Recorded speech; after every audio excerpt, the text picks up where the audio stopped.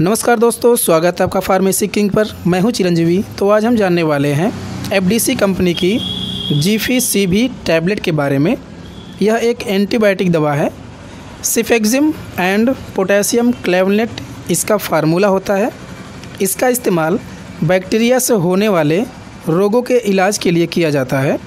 जैसे गले में इन्फेक्शन हो, गले में दर्द या सूजन हो, कान का infection tonsils bronchitis UTI infection पेशाब से संबंधित रोगों के इलाज के लिए वायरल इन्फेक्शन वायरल फीवर फोड़ा, फुंसी, जलने या कटने पर एंटीबायोटिक के तौर पर जीपीसीबी टैबलेट का इस्तेमाल किया जाता है।